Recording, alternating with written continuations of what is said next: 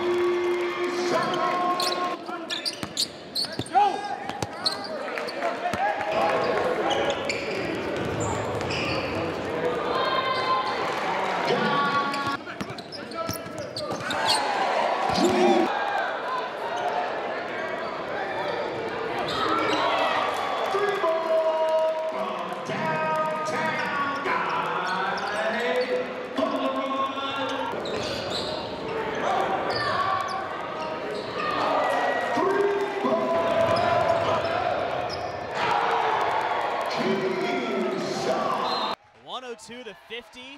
And here we are for history as they all mob head coach LeVelle Moton. This is a historic maroon and gray victory. Coaching win number 252 for a head coach LeVelle Moton in this building named after the coaching legend John McLendon. Head coach LeVelle Moton now the all-time leader in wins at North Carolina Central University. Congratulations to you, Coach Moton.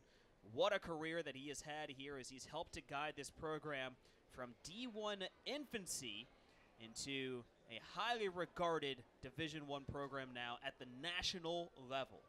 Well, congratulations to coach, and you can see what matters most to him. Got got his son right next to him. Family's, you know, been here with him, and you know he's got his family here and his family in North Carolina Central to celebrate this win. Let's head down to our PA announcer, Bill Murphy.